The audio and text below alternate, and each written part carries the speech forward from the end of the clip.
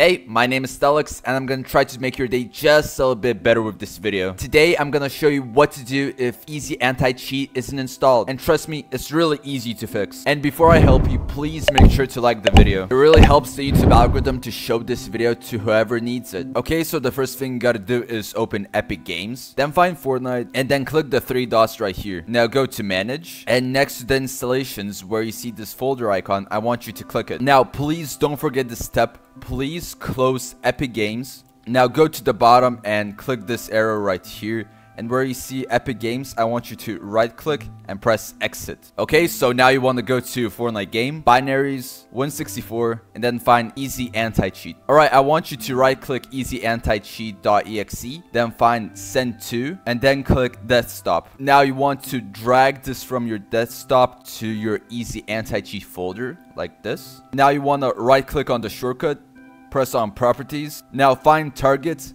go all the way back where you see setup.exe. Now I want you to press space and then write the word repair like this. Click apply and then press OK. Now just double tap the shortcut and that's it. I hope this video helped you and if you have any questions please make sure to comment. I will try my best to answer them all. And if you found this video useful, please make sure to use code NOTSTELIX in the item shop. I'm gonna see all of you in the next video. Bye bye.